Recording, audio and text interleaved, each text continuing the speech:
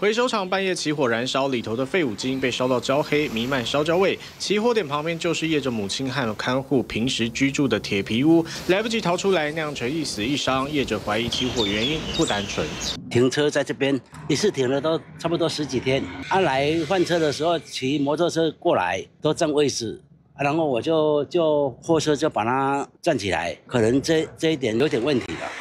为了厘清起火的状况，业者也把监视器交给火调人员，希望可以帮忙查清楚。业者说，这个地方会起火就很不寻常，都是塑胶袋啦，一些废五金而已啊，不可能起火啊。已经晚上了，你如果白天还有可能，白天那天气那么热还有可能啊。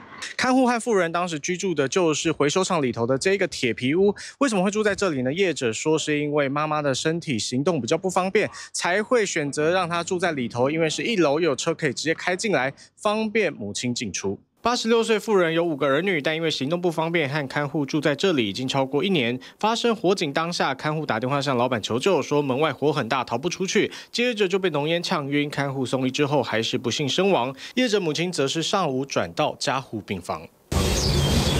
被火烧过里头一片凌乱，员工一早回来帮忙善后，但这把火是怎么来的？业者只想尽快理清。TVBS 新闻综合报道。